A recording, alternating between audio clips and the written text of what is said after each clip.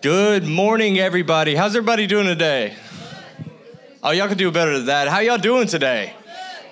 Well, let me just say that you look good. I'm so excited to be here. Thank you, Pastor Nate, so much for giving me the opportunity to preach today. Uh, how many college football fans do I have in here? Yeah? We got just a handful, a few of you guys are. Who do y'all root for? Anybody? Nobody uh, in college football? College football? Penn State? We are Penn What is it? If you had to, I wouldn't if I had to. No, no doubt. Uh, last night I was watching the uh, LSU game. I'm a huge LSU fan, and they were playing Auburn. And I was sitting there and I was screaming and yelling at the TV. They were down by 17 in the first half, and I was just mad. I was telling, I was like, we need to replace everybody on the whole team. I'm sitting there, and then they come back to win the game. And I was sitting there with Preston, and he's like my little football buddy, or at least I thought he was. He, we were sitting there and we are watching the game, and I thought it was really cool. I mean, he's two, and he's sitting there and he's like talking about, he's like, yeah, I'm seeing a ball. I'm like, I know. He dropped it, right? Like we're just sitting there talking. And I'm thinking that he's excited about the football game until uh, somebody got hurt and they had to get carted off the field and they brought a, a cart on the field, and he stands up and starts screaming, and he's going, Vroom, vroom, vroom. If y'all don't know this about Preston, he loves cars.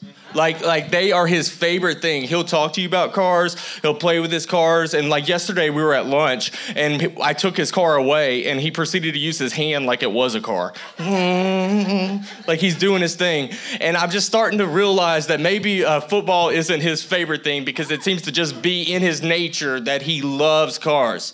It's a lot of fun. Like we're walking down the street, and he gets excited every time we see a car. Vroom, vroom. I'm like, yeah. We took a 17 hour road trip not too long ago, and he's like, Daddy, Daddy. like, yeah, Preston. Vroom, there's a vroom. I'm like, yes, we're on the road. It's the highway. Ah, driving me crazy. It's just something that's in his nature. It's like with our dog, Marvel. I don't know if uh, I brought him around a couple times when he was little, even when he was like this, but now he's like up to here on me. And there, I've had some dogs that I was able I was able to train to not get my food when I leave it.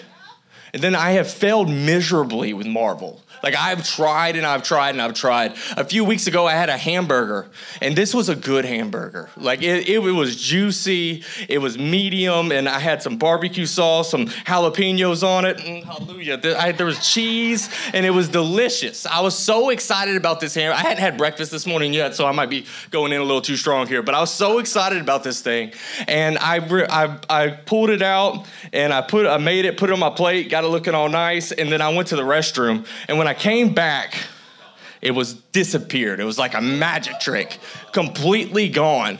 And so I grabbed my newspaper and I started chasing Marvel around the house. And, and then it wasn't just two days later that I got a, some breakfast and I made my bacon and I had ate all my bacon on the way over to the uh, and I had my toast, ate my bacon, and I had three eggs sitting on my plate. And I went upstairs to get my phone because I don't learn my lesson. And I come downstairs and I go into my office and I look, and my three eggs were now two eggs. And this is Marvel. Like won't look at me, won't won't make eye contact at all. He's like just sitting here, and I was like, "What is this?" It takes off running, and I could have gotten mad again, but I just decided to accept it. That like that's just a part of his nature. And a lot of times, whenever we're talking about the Lord, we talk about the things that He does, but we don't talk about enough the things that He is, the things that make Him up. Like God is love. He is compassion. He has all of these things that are in his nature that project him, that are able for us to be able to come to him. We'll be able to see them in action.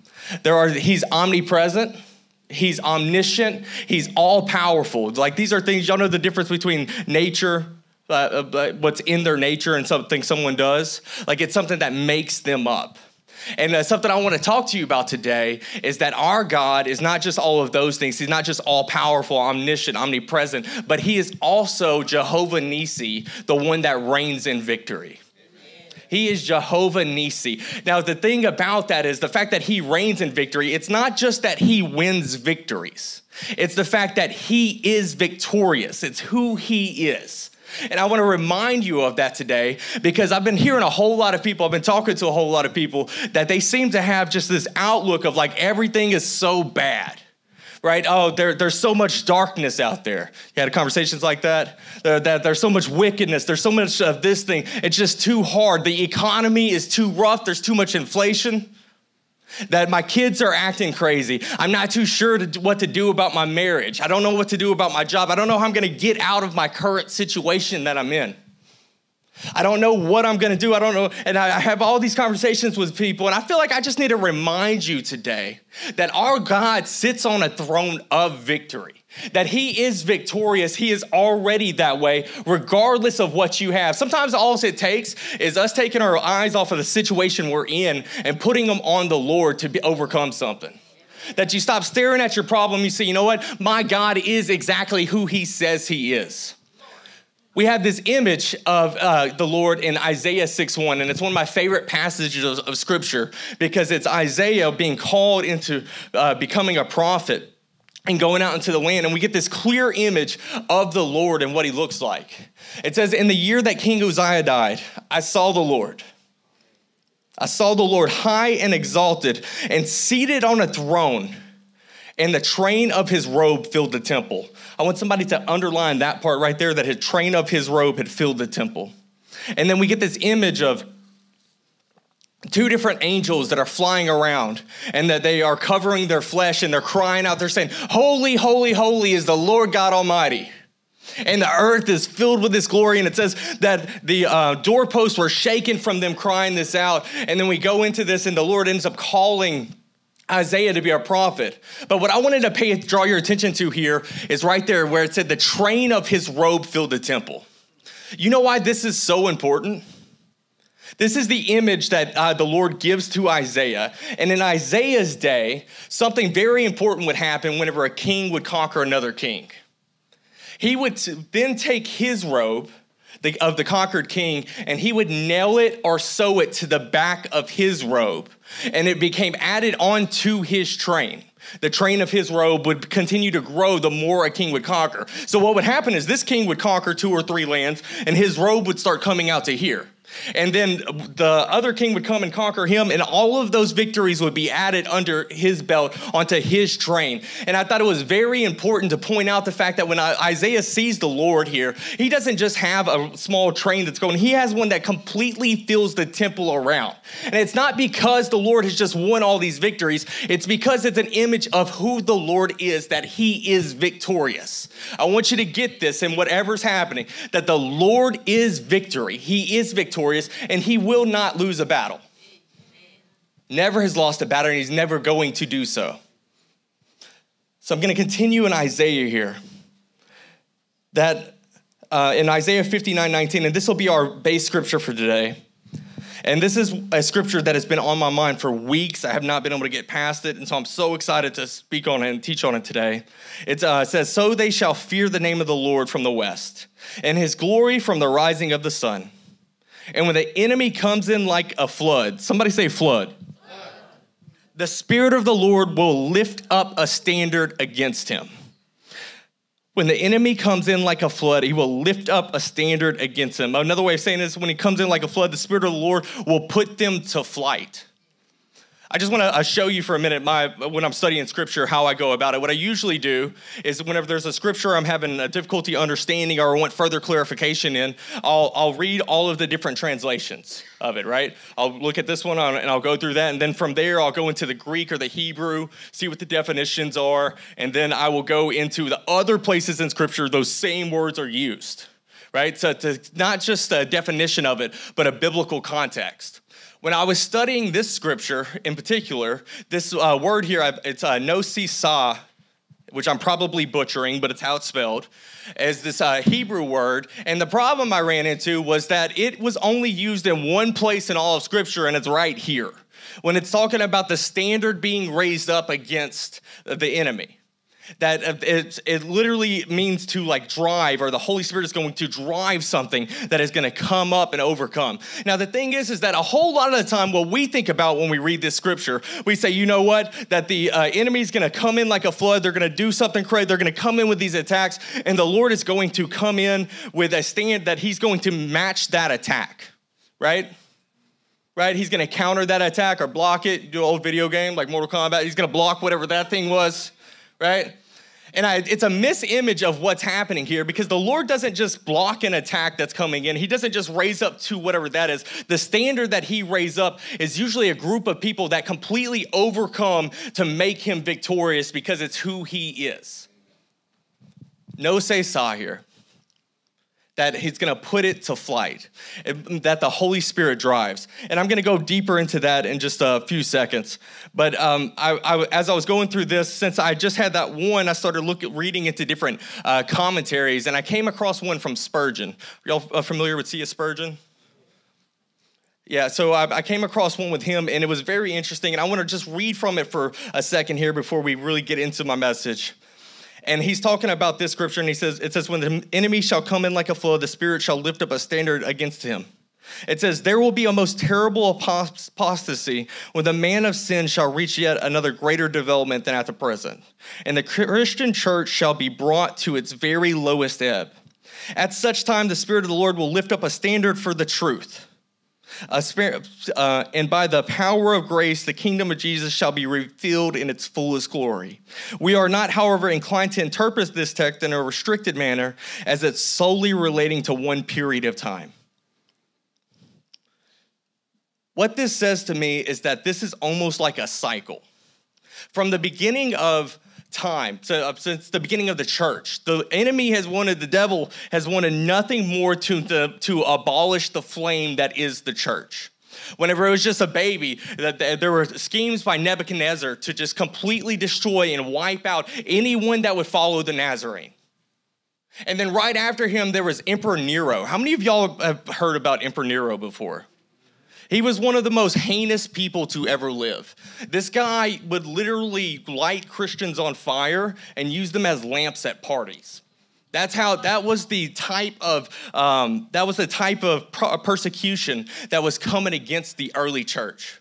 There were all of these things and all of these schemes. Like uh, early on to it, we see James going into, uh, I'm sorry, Peter going into uh, prison, and James is already slain with a sword. And then you have uh, you had uh, Nebuchadnezzar and then Nero in power, and and they're all being attacked by these uh, groups of people. And then you have the zealot, you have Saul of Tarsus coming in with this Pharisee and um, this Pharisee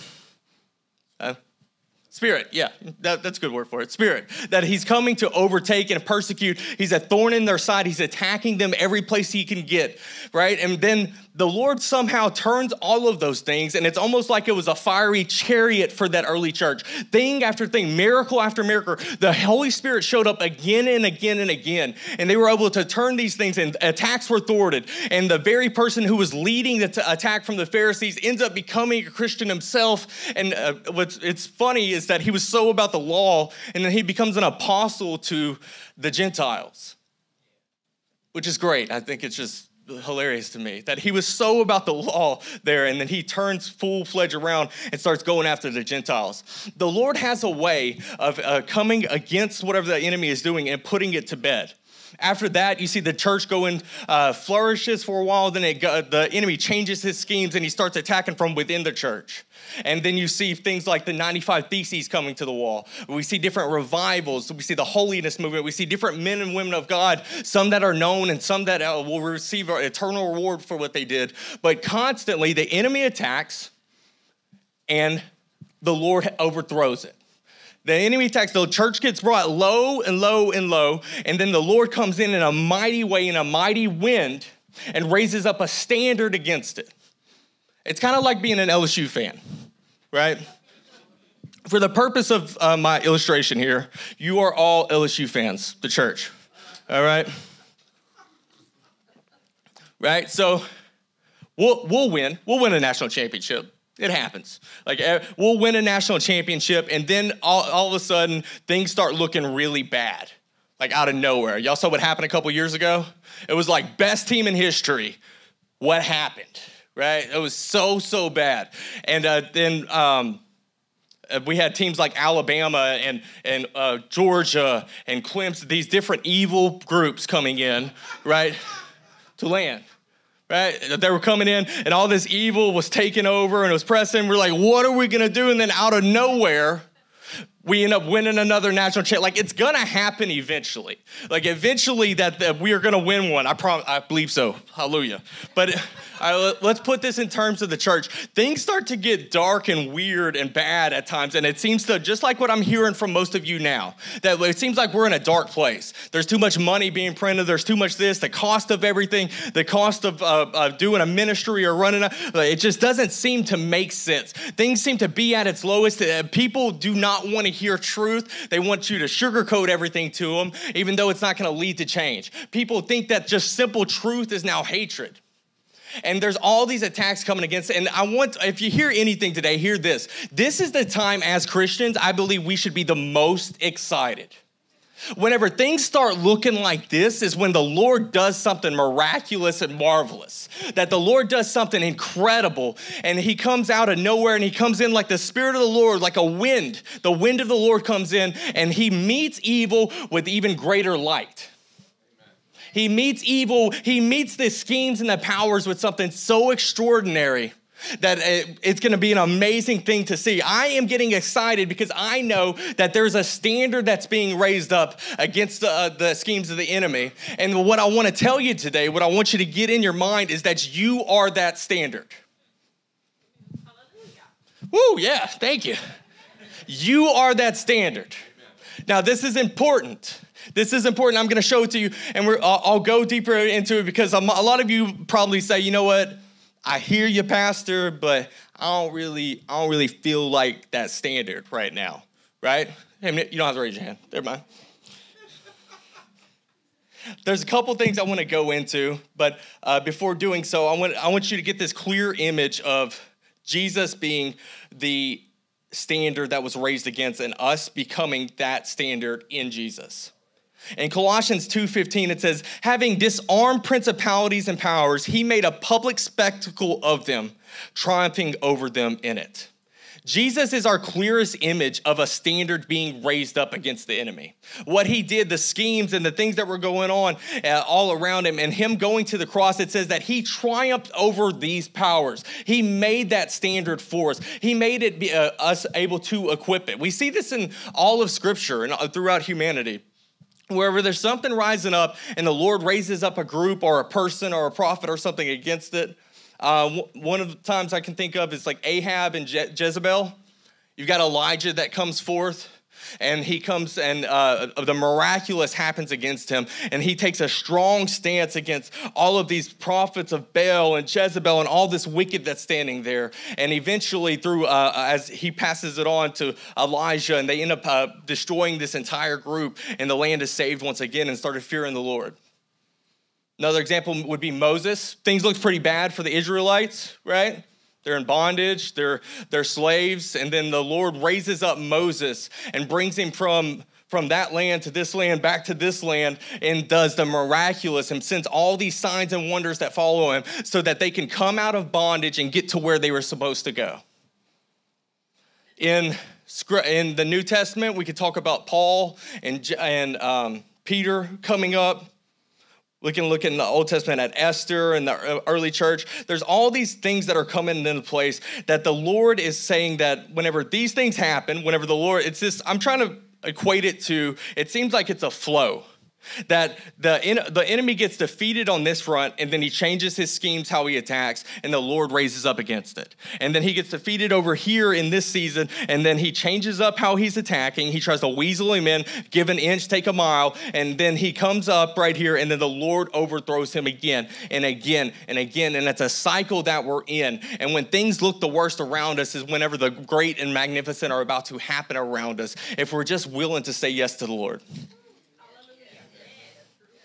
I'm telling you that this is something amazing that is about to take place and that we are about to raise up a standard. The way that I would equate it to you is like it's like Nebuchadnezzar's heating up his furnace seven times over, right?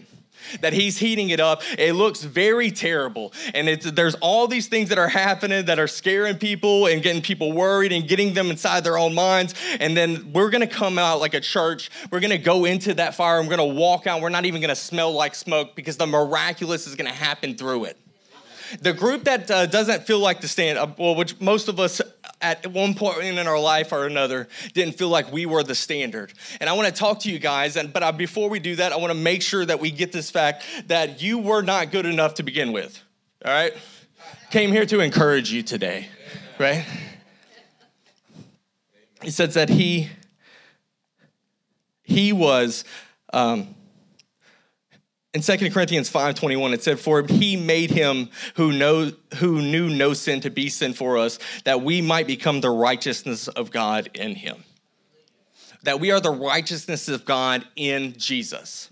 I don't want you thinking as I'm about to talk about what I'm about to talk about. I don't want you thinking that there is I don't know how to that more that you have to do, more pressure you have to put in yourself. It's something that's revealed in you as you start pursuing the Lord. That it's Christ in you that is the hope of glory. And I want you to get this because I'm about to talk about a whole lot of things that you got to do, but I want to make it clear and evident to you that He already did it. Now it's just time for us to get out of our own way that every all the victory was already won at Calvary. Now it's just time for us to say, Yes, Lord, whatever you have for me. And then they can continue to do that whenever it doesn't look like it's working out at all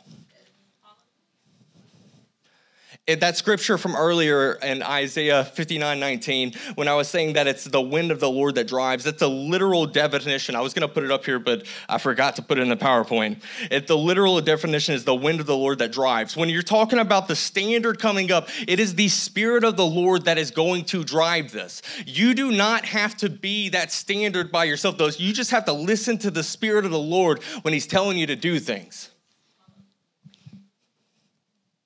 So there's two groups of people I want to talk to today when we're talking about the standard. The first is a group that just needs to say yes. I said yes and I love it. And I think that you should too. The scripture says that many are called, but few are chosen. And this is a scripture that has had bothered me for years. I was like, he said, many are called. I'm like, yeah, but I'm preaching. But few are chosen. I'm like, well, okay right? It's kind of hard something, it's a difficult something to relay. And I remember whenever I was first got married, my first year of marriage, I was working at this publishing company. And there's these guys that worked in, I worked in marketing and I was doing sales there. And there's these guys that worked in book sales. I can't remember their name right now, but I sat here in my cubicle and they sat there and I would talk to them over the cubicle all the time. And I remember one time I was sitting in the, uh, the, the, uh, uh, kitchen there, and one of them came through and he was looking for some, to help somebody move. I mean, he was looking for somebody to help him move. And let me tell you something about me the only thing I hate more than moving is helping other people move. Right? I can't stand it. I hate the whole entire process. I have rules set up so that you can't ask me to help you to move. All right? All right, there's certain rules that I have to follow. The first one is I'm not gonna help you move more than one time in a two year period. You can't if you don't resign that lease, it's on you, buddy. It is what it is. Like I'm that ain't me. I'm not, I don't want to. And you also you got to have pizza or something for me to eat. I'm not to go out there working hard, blood sugar be dropping in junk, and you just out there in your air conditioning packing your boxes. Actually, that's the other one. Your stuff has to be packed before I come. All right, I am not packing your stuff and moving it. You get one or the other. All right, I don't like to move. So here he is going through. He's like, anybody want to help me move? I'm, I'm doing this. I'm like Marvel with the sandwich. Nah, can't, can't make eye contact. And it seems like everybody's doing that. a lot of people probably have the same strong feelings about moving that I do. And I'll never forget this guy that was sitting next to me. He's going around asking everybody, and it's getting awkward and weird at some, this point. And this guy raises his hand. He goes, Hey, I'll, I'll help you move. And the guy turns around and he says, Oh, then I choose you. Being funny. But in that moment, I got an image of exactly what this scripture means the, that the many are called, but few are chosen. Each and every single one of you are called to be this standard. Each and every one of you are called to be uh, the righteousness of God, are called to walk into the fullness of Christ. The difference is, is that whenever you raise your hand and you say, you know what, I'll do it.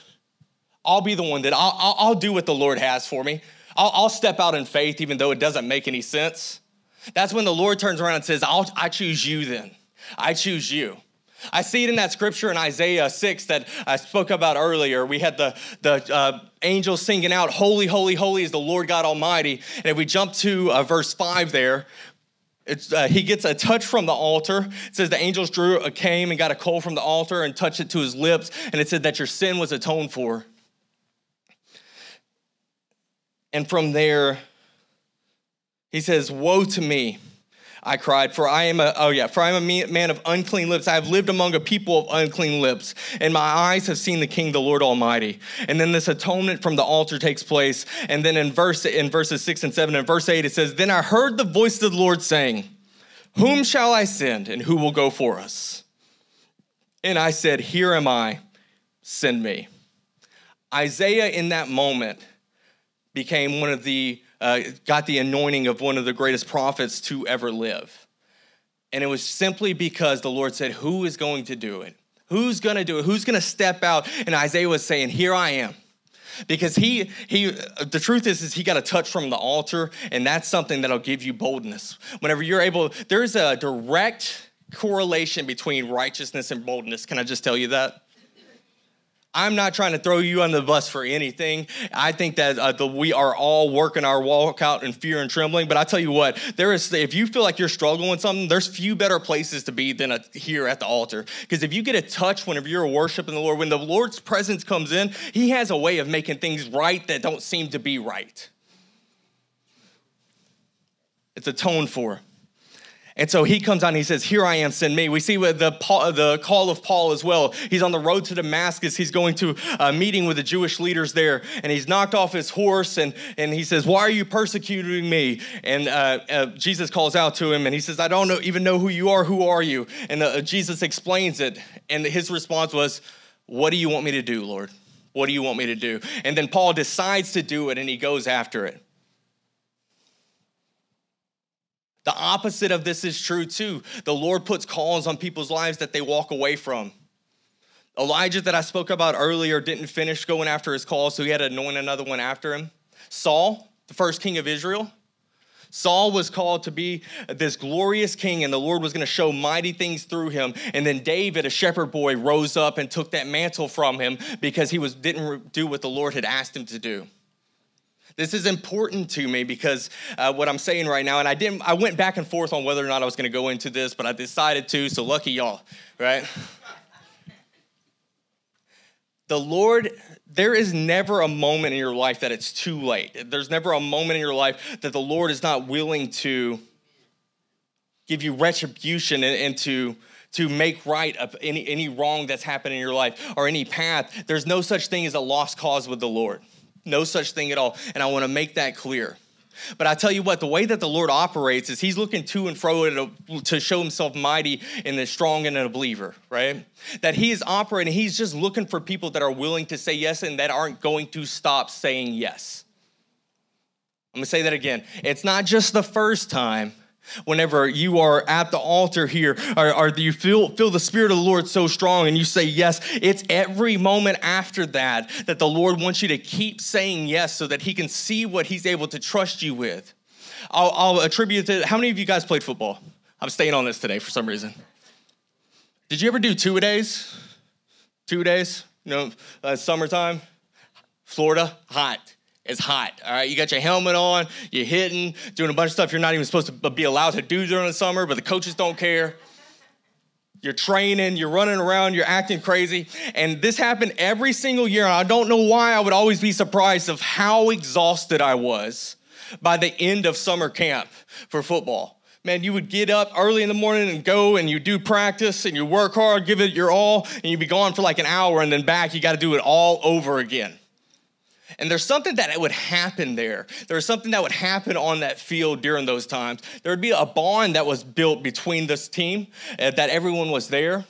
But something else that always happened too people would quit. It, it, it, was what it was. I feel like the reason that they went so hard on us in the summer is that when it came August, when it came game time, the people that were willing to quit were not going to be there because the Lord, the Lord, the coach, Y'all see where I'm going with this? The coach was not willing to, uh, would not be willing to put, didn't want to put somebody in a position where there was still some quit left in them. That they were going to go through this, but we went, so they would take every ounce of blood, sweat, and tears. We would work so hard, and then it meant something for us to be able to stand up and go into that season, that we would be able to stand up and go into that stadium at the beginning of the year. What would happen is people would quit People would get uh, yelled at, people would get, um, but also people would get positions. And people would get named captains, and people would give them responsibilities that were put forth from them as soon as that testing period was over, as soon as the season was ready to start. Back to our base scripture that a standard's being raised up. I believe a lot of you are in a season right now where you don't understand what is going on. You don't know why it's going on. You don't understand what it looks like. You don't know why you got that report from the doctor. You don't know why your job is happening like that. You don't know why that you don't seem to be able to pay your bills. You don't know why your family's acting that way. Your kids are acting crazy. Some of y'all are suction cup to your seat right now. All right.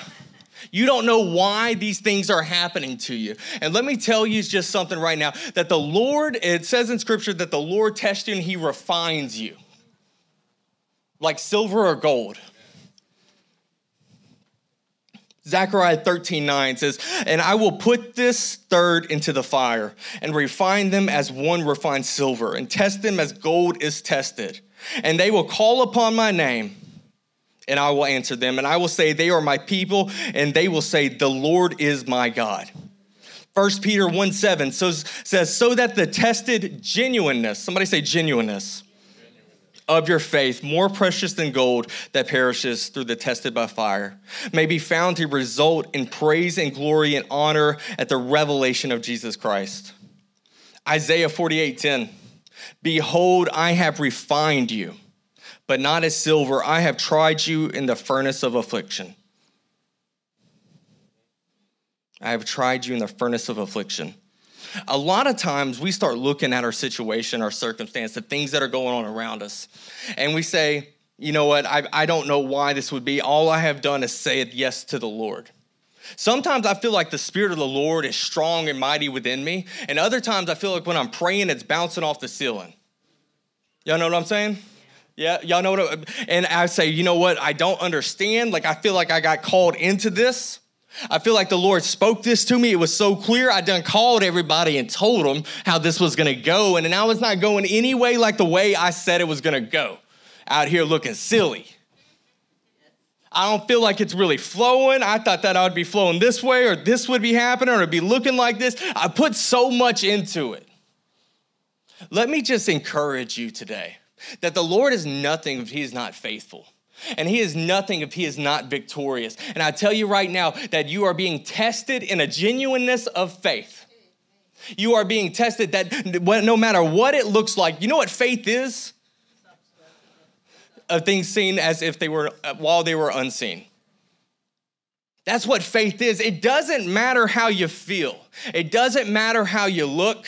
It doesn't matter how it's going on around you. What matters is the Lord says He is who He says He is, and whether or not you're going to continue to press on toward the things He has for you.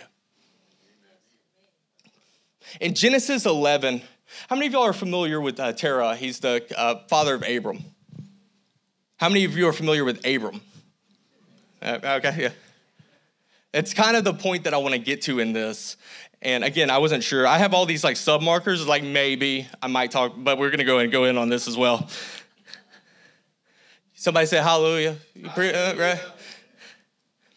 It says, This is the account of Terah's family line. And then it goes through, it talks about Abram, Nahor, and Haran, and the Haran being the father of Lot. And it talks about Sarai and Sarai not being able to have children. It goes through all of these things in these few uh, scriptures. I think it's like 27 through 30. It's now 30 says, Now Sarai was childless because she was not able to conceive. And now it says Terah took his son Abram, his grandson Lot, and his son of Haran, and his daughter in law Sarai, the wife of his son Abram, and together they set out from Ur of the Chaldeans to go to Canaan. But when they came to Haran, they settled there. Terah lived two, and then this is the last thing it says about him Terah lived 205 years and he died in Haran. he says that he went to go to Canaan. And now let's fast forward to Genesis 12 right there. It says, The Lord said to Abram, Go from your country, your people, and your father's household to the land I will show you. It says in verse 4 So Abram went as the Lord had told him, and Lot went with him. And Abram was 75 years old when he set out from Haran, the same place that Terah had left him. And he took his wife, Sarai, his nephew Lot, and all the possessions, all of these things, and they set out for the land of Canaan, and they arrived there. That's verse 6. And I want you to see in verse 7. The Lord appeared to Abram and said to him, said, To your offspring I will give this land. So he built an altar there to the Lord. I'm reading between the lines here, all right? But I believe that the Lord intended for Terah to be the father of our faith. Now, just hear me out, and this is conjecture on my part. I don't, I don't want to uh, just preach this as all, all out, but I truly believe this. And the reason that is, is because Terah is a successful person where he's at. He's successful. It says they had to gather all his possessions. He had his family, he had all of these things. He's sitting in Ur of the Chaldeans. And then out of nowhere, it says he picks up his stuff, he grabs all of his family, everything they have, and then they head out to Canaan, right? This is the account of it that he's going to Canaan. And then it says, Terah took his son from Europe to go to Canaan. But when they came to Haran, they settled there. And they lived there 205 years, and he died in Haran. And that's what we know about Terah. And then we see him come to Abram right there, and he calls him. And he says, Will you go to Canaan? He says, I'm going to take you to this land where you don't know. And Abram just decides, he says, Yes, I'll go where you say I should go. And then he goes into Canaan. And as soon as he arrives to the place that Terah was trying to get to, the Lord comes to him and says, I'm going to give this land to your offspring. All I'm trying to get to with this is the fact that you can be on your journey and you can be re- being refined and you can have all these things that are happening around you, but I don't want you to settle where you're at. I don't want you to stop walking toward exactly what the Lord called you to do. I don't want you to stop walking toward the ministry He wants you to start. I don't want you to stop walking toward what He wants you to speak. I don't want you to stop walking toward the miracles and the signs and wonders that are going to follow a group of people that are willing to say, I'm not going to do what everybody else is going to do. I'm going to do what the Holy Spirit tells me to do. Even if it's over and beyond even if it doesn't make any sense in my natural body and even and even more so that i have stepped even when you have already said yes to that if you haven't said yes to that i want you to say yes to that but when you already have done that and everything seems like it's fallen apart around you, I want to encourage you today that the Lord is who reigns in victory. That He is going to be victorious and He is never going to call you into something that He is not going to come out the other side and say, Look what we were able to do. Look what I was able to do through you. Because through those other seasons when you felt like giving up, you said, You know what? It doesn't matter how it looks, it doesn't matter who I am, it doesn't matter any of these things. It matters who He is and what He did did. I want to encourage you that if you are on this walk right now and it doesn't feel right, it doesn't matter at all because how you feel in your season, how you feel in your moment, how you feel in your journey does not change who the Lord is and what He's going to do in your life. It doesn't change the promise that you got. It doesn't change the promise that you got, what the Lord spoke to you. It doesn't matter how long it's been. It doesn't matter how it looks around you. It doesn't matter the finances or how much money they're printing. That does not matter. What matters is the Lord said He wants to use you. He said that many are called and few are chosen. I want you to be the few chosen because in this season and in this moment, you say, no matter what, I'm making my decision today that I'm going to stand in faith tomorrow, no matter what tomorrow has. And then tomorrow, I'm going to say the same thing again. I'm going to stand in faith tomorrow whenever that other thing comes because I know that the Lord is here with me now, whether I feel Him or not. That's what I want you to get today. That God is who He says He is, and He is victorious. It's in His nature. The train of His robe fills the temple. And we just need to grab a hold of that with whatever you've got going on. And I know that the Lord placed this on my heart today. Whatever your season is, whatever it looks like, it does not matter. What matters is who He is. If you just uh, bow your heads and close your eyes really quick as I'm closing in this. Lord, I thank you for every person that's here today. I thank you for giving them ears to hear, Father. And I pray that you would just, whatever you had for them, there was a lot said today, whatever you had for them and they grabbed a hold of, that you would just cement it in their heart, Father. That, that they would be able to listen to you and your Holy Spirit. There's two groups I want to talk to today, and I've already talked about them and, and preached about it today. But the first is you would say, you know what, I have never said that yes. And maybe it's not, you never said yes to the Lord for the first time. Or maybe it's that you haven't said yes to going after the supernatural that is the Lord. To going after the things that he has for you, going after the, the things that he wants you to do more than what the ordinary is, but the extraordinary that God is and you want to say, you know what, I haven't done that, but I want to say yes today. I want to say yes, whatever you have for me, Lord. I'm going to set out my, I'm going to start my journey here. Whatever you have for me, Father, I'm going to put aside what I've got in my life. I'm going to put aside whatever things I am worried about. I'm just going to have faith and I'm going to stand up and say, you know what, the things that the Lord has for me are so much better. If this is you, could you just slip up your hand up right up, right down, right now? Thank you, thank you, thank you, thank you, thank you. I want you to take a moment and cement that in you. That, that you're deciding to, that right now it's not just gonna be a come in and go out type thing, that you're gonna go after full force exactly what the Lord has for you. And there's a second group of people I wanted to talk to. You'd say, I said yes, and sometimes I feel like I regret it. Just being real. I said yes, and I know I'm not supposed to say that, but I feel a little bit worn down. I feel a little bit beat down right now, and I don't feel like things are going the way that the Lord intended them for me.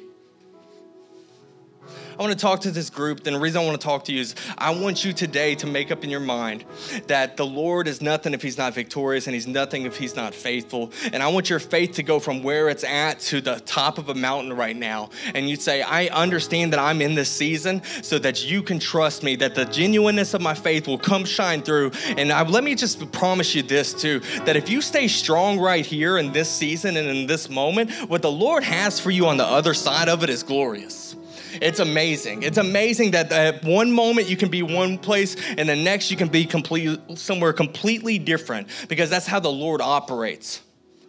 If you say today, I feel a little bit beat down and I want my faith to grow, I want to make a commitment that I'm, and that's your responsibility. Let me just say that too. All in scripture, well, you see Jesus rebuking the disciples for the same thing over and over. He says, You have little faith, you have little faith, you have little faith. Let me just tell you that it's on you where your faith level is at. And so I want you to make a public commitment right now that you're gonna change where your faith level is at. Anybody that say, you know what, when you're praying for somebody, Pastor, pray for me, just slip up your hands, please. Thank you, thank you, thank you, thank you, thank you. Your faith is gonna rise so much right now in this moment. Let me pray for each one of you that, Lord, I pray for those that responded to the first call, that they said they're saying yes to Jesus no matter what it looks like, no matter what it is. That they want to see you show up in a mighty, mighty way in their lives, Father. So I pray that you start to move on them right now. You start to move on their heart, that you begin to shift things and to, to drop things, that things begin to fall off them like they never even knew, and that they'd be able to walk in such freedom and such abundance, and they would have such blessing on their lives. And Lord, I pray for the second group of people that they are able to keep their eyes on you and they're able to know exactly who you are, Father, no matter how it looks around them. They're saying, I'm going to stay steadfast because the enemy is coming in like a flood right now. And I know that I know that I know that a glorious church is going to rise out of it. That I'm going to be, a, I'm choosing to be a part of this standard no matter what it looks like around me. In Jesus' name, amen. All right, I'm gonna uh, uh, welcome Pastor Nate to the stage as we're beginning to close out service. Thank you guys so much for having me today. I really enjoyed being able to preach. Amen. Didn't he do a great job? Someone told me that earlier that Pastor Jordan is just getting better and better. And uh, he's always been good, but uh, he is just growing and maturing in the Lord and speaking to us. Amen. I was planning on, on sharing today. I'm about 80%. I've lost my voice, uh, but I'm doing a lot better. Next week, I just feel led of the Lord to begin a series that's entitled, What is This World Coming to? And uh, we're going to look at end time events and uh, things that are in the news And I want to challenge you to be here. Uh, it's going to be a short series. I know we went through the book of Revelation over about a two year period. So this isn't going to be a two year series, just uh, kind of, we're going to hit the bullet points. But I want to invite you to be here, invite a friend. This is a very important series. How many know that we are living in the last days? And I believe that the Lord is coming soon. And uh, scripture is being fulfilled right in front of our eyes. And so I want to challenge you to come, bring your notebook. We're going to dive into the Word of God. And uh, in this series, it will be fascinating as we uncover what the Word of God says. Amen? You know, when Pastor Jordan was talking, it just reminded me of Joshua. Joshua was in a very tumultuous time, and he came to a place where he said to all of Israel, As for me and my house, we will serve the Lord. I want to tell you today that is so relevant to you and, and to me. We need to have that same tenacity to be able to stand up in this world and say, As for me and my house, we will serve the Lord. When you put God first in your life, He will take care of you. Don't look at the circumstances. Sometimes the circumstances will forsake you, but God will never forsake those who put their trust in Him. Amen? Amen.